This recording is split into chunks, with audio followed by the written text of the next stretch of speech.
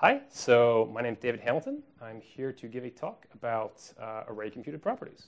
So we'll start with a quick recap. What is a computed property? Got this handy definition from the uh, Ember.js website that defines them in terms of functions. But there's a really simple way of thinking about it. A computed property, it's just a dynamic value that gets computed from some set of dependent properties. And the important thing to keep in mind is that when a dependent property is changed, the computed property is completely invalidated. So here's a very simple example. We have a person, have a name with a computed property loud name that depends on name. It's just the same thing in all caps. The important point here is that when we change the dependent property, we set name, uh, there's no sense of partial recomputation for the computed property. So this makes sense for single values, but what do we do about arrays? So you might just try to do the very same thing. Like here is our same example where we have a computed property that just returns an array of loud names uh, that depends on an array of names. But this won't actually work. So we if we mutate the array, nothing gets changed. So in this case, we add Berwick to our list of, uh, of people, and he doesn't show up. And the reason is that when we depend on names, the computed property will be completely invalidated when the dependent property is replaced, but not when it's mutated. So not when an item in the dependent array is replaced, or when an item is added to the array, or unshifted from the array, or whatever. There's a simple solution. There's a virtual computed property, brackety bracket. So if we take almost the same example, but now we depend not on names, but on names.brackety bracket, our test works. Now we can mutate the dependent array uh, we add Berwick, and now we have this nice list of people. So that's my talk. Except there are two issues with this approach. Uh, one, this doesn't handle dependencies on array on properties of objects. And also, a lot of the work is already being redone. So we have to, we have to cycle through that entire array of Marlborough, Eugene, Vendome, and Villars, even though they haven't changed at all, even though we just added one item to a dependent array. So how do we deal with them? Well, here's how we deal with the first problem. Uh, we can use .at each dot property name. So let's look at this example again. Uh, but first, we'll have a little helper, which is just going to let us recreate the example, uh, but with properties behind objects rather than just simple strings. So now we have an array of these same people. And instead of depending on people dot brackety bracket, we'll depend on people at each name. And now, uh, will recompute the array not only when it gets mutated by having additions uh, or by swapping out items in it, but also if any of its existing items have their name property changed. So in this case, we, we swap out Eugene for Overkirk. Uh, and then that'll get reflected in the computed array. But again, we're going to loop through the entire array to do that. So this takes care of that first problem, but not that second problem. It's still the case that most of the work is being redone. Uh, so if you, if you wind up mutating n items or if you push n items onto the stack and need to recompute the computed array every time, you're doing n squared work. This is the entire point of array computed. Array computed is to deal with this case where we do a small amount of work to a dependent array and we minimize the amount of work we have to do to update computed properties. So uh, let's take this same example again.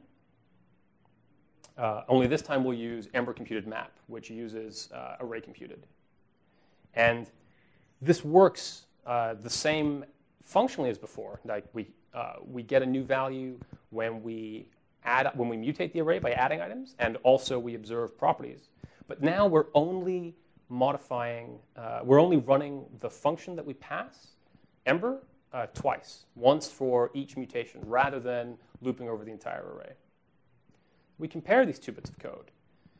Uh, what we can see, so in, uh, above you see the, the old code, and down you see uh, the code using Ember computed map.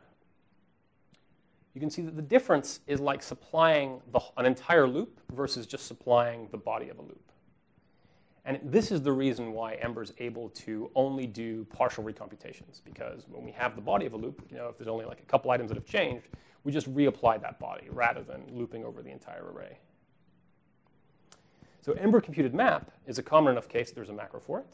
And there are many other macros. Uh, probably the ones that are most used are map, uh, filter, and sort, but there's a few others. However, you need to be able to write your own, and the API exists for you to do that. Uh, so this is how you can write your own uh, array computed properties or array computed macros. So here's what we're going to do now. We're going to look at the API. So this is how you would uh, recreate one of these functions. You'd use ember.arrayComputed, and it looks a lot like a normal computed property that you'd create using Ember computed. You've got a list of, you, you have an arbitrary list of dependent keys. Uh, your last argument, instead of being a function that determines how that dynamic value is computed, it's an object with a few things. It's got two required functions. Uh, one is added item and removed item, which is what to do when an item is added and what to do when an item is removed and optionally also a function for initializing the array computed. So here's the signature for initialize. You just have the initial value of the array, uh, some meta information about a change, and, meta, and uh, meta information for the instance. So the array is just the initial value. It's just an empty array. Change meta for initialize contains not too much. It has a reference to the computed property, and it has the name of the property on the object. So in the previous example, that would be loud names.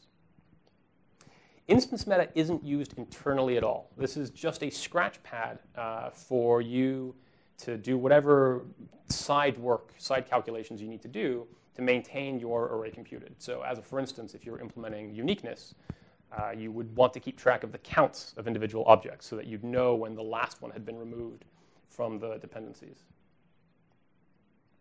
Uh, added item looks similar.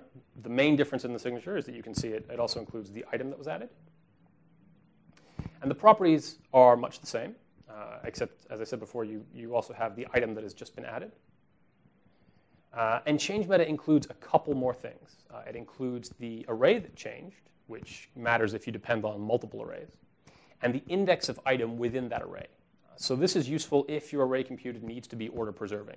So as an example, Ember computed map is order preserving. Uh, Ember computed sort is obviously not. An instance meta is just the same scratch pad that was passed into initialize, obviously. This is just shared between all of these callbacks. Uh, removed item looks almost exactly the same as added item. The only difference is that it's called at a different time. So removed item, as you might imagine, is called when an item is removed from a dependent array instead of when an item is added to a dependent array. So I talked about adding and removing items, but we didn't cover modifying items at all. Uh, so here's an example much like the one we had before using array computed, where we depend on some upstream array and a property on each item. So why does this work? And the answer is that all modifications in, uh, in array computeds are treated as a removal and a subsequent re-add.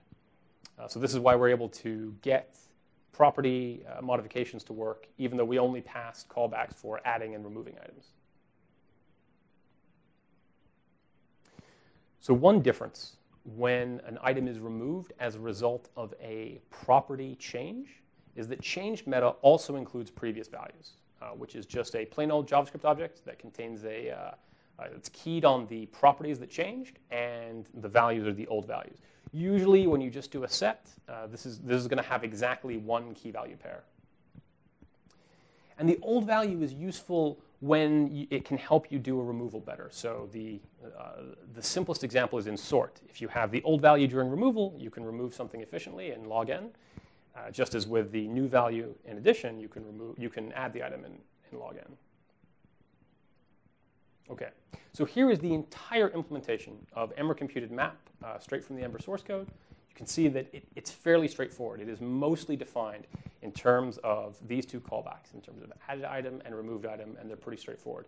Most of the real work is being done in array computed. All of the observer management, uh, it's all done upstream. So that's all you need to know to be able to do simple uh, array computed, array computed properties. Uh, but as you do some of these, you will run into certain issues. Uh, and we're going to go over some, some more common ones. Uh, one is what happens with non-array dependencies, uh, working with item controllers and also proxies generally, and how to mix the one at a time with complete invalidation semantics. So first things first. You might think, what does this do? What happens if I have an array computed that has a dependency that's an array and a dependency that's not an array? When a a non-array dependency has changed, the array computed property is completely invalidated. If you think about it, this isn't surprising. It's because an array computed property is just a particular kind of computed property. So it still has all the same semantics that regular computed properties have. So if you, you can have non-array dependencies, you just won't have the array observers initialized, and you won't have this one at a time semantics. You'll just have total invalidation uh, as if it were any other kind of, of uh, computed property. Uh, so working with item controllers, you might have something like this. Uh, so the, the most common time when you're going to be working with item controllers is uh, via array controllers. So for those of you who don't remember, uh, with an array controller, you can specify an item controller, and then when you retrieve items from the array, when you treat it like an array, they'll be wrapped in the specified controller. So in this case, if we do uh, people controller object at 3, we won't get the person, we won't get the, the record from the model property, we'll get a person controller that proxies to that item. So you may wonder, well, how do I do this? Like, what's the, what's the right uh, property to put here? So you can certainly just depend on the model property, and that will work, but then you won't get your, uh, your item controllers. You'll just get the raw items, which can be fine uh, unless your item controller has properties that your array computed depends on. Conceptually, this is what you want. You want a property that just returns the array controller itself. And this actually, th this completely works. You can do this, uh, and it's totally reasonable. And this will get you exactly what you want. Uh, what will happen is the array computed will take, will grab the self property as the array, and it'll treat it like an array, and that's what will be getting the object ats. And that's how we'll wind up with the proxies. However, because this is such a common case, like usually when you have item controllers, those are the things you want to deal with rather than the raw items there's a nice little shortcut you can use, uh, which is at this. Because conceptually, that's the thing that you want to specify. You want to say it's the, it's the uh, array controller itself that is the source of items. This is the CP equivalent of the JavaScript of this keyword. All right, so the last thing of the more advanced issues is mixing one at a time and complete invalidation semantics. So you may have multiple array dependencies, some of which you want one at a time semantics for, and some of which you want total invalidation for. Uh, so uh, common examples are different kinds of filtering, uh, where you'll have, for instance, a list of flags, like uh, include these tags, don't include these tags, and a list of items. So when an item is added or removed, you want one at a time semantics, but when a flag is added or removed, then you just need to restart your filtering. So the question is, how do we do this? And the thing to remember is that other than managing the array observers, array computed properties are just like other computed properties. So we can do exactly what we did at the very start of this presentation. We can just use brackety bracket. And what this will do, when we say that this array computed depends on upstream, but it depends on flags.brackety bracket, it'll mean that flags, when an item is added or removed, will completely invalidate the property. And upstream array will use the added item and removed item callbacks. Uh, one thing to keep in mind as a sort of rule of thumb is that you always want at least one dependent key with one at a time semantics. Uh, and if you don't have this, you should just be using a regular computed property. Uh, the reason I say only sort of rule of thumb is that it's, it's much more strict than a rule of thumb. You absolutely want at least one dependent key with one at a time semantics. Otherwise, you should just use a, a regular CP. So you may have noticed that array computed properties are a little bit like a reduce from a functional programming uh, point of view, eh, where the produce value just happens to be an array. So you may wonder, well, okay, the upstream has to be an array, otherwise it doesn't make much sense. It has to be some kind of array-like thing. But can we have one-at-a-time semantics where the computed value is non-array? And unfortunately, the answer is no. Well, it would be kind of a lame rhetorical question of actually the answer. No, of course we can. They don't have to be arrays enter Ember reduce computed. So here is how you do a reduce computed. And you'll notice it looks almost exactly like an array computed. Uh, the chief difference is that, it is that your object that you pass at the end also includes an initial value. And this will just be a function uh, that returns, as you might have guessed, the initial value. For simple values, it's fine to just have uh, the value itself. So for numbers, strings, and so on, you don't need to have a function, although it's just a shorthand. So here's one last example where we look through reduced computed and we look through uh, some of these other, these other issues. So here's how you could do a unique uh, for instance. So we want uh, set semantics. So our initial value is just going to be a set. And uh, we're going to have an instance meta that just keeps track of the counts of items that we talked about earlier. So when an item is added, we just count how many times we've seen this item. And if it's the first time, we add it to a set. And when an item is removed, we reduce the number of times we've seen an item. And if, it, if we're down to zero, we remove it from the set. Uh, depending on the size of the set you expect and how you want to manage instance meta, you would also potentially delete the GUID from, uh, from that scratchpad at this time as well. That's it. Thank you much.